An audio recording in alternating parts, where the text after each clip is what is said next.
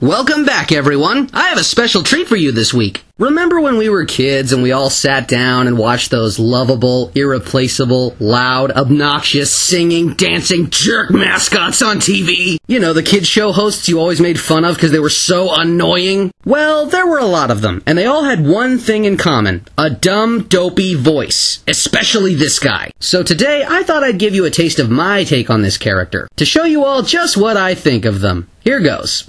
hey, kids! It's time for another whimsical adventure with your best pal. But really, I'm just a corporate sellout meant to sell sugar and plastic. I'm just a guy from Jersey in a foam rubber suit with a really stupid voice, and yet somehow I get millions of kids to watch my show. Sure, it's manipulative, but it shuts you kids up for a half an hour. I just sing and dance while I feed you all a bunch of lies about how wonderful the world is, and I teach you life lessons that you could easily learn from your parents, but they're too busy working while you're in front of the TV.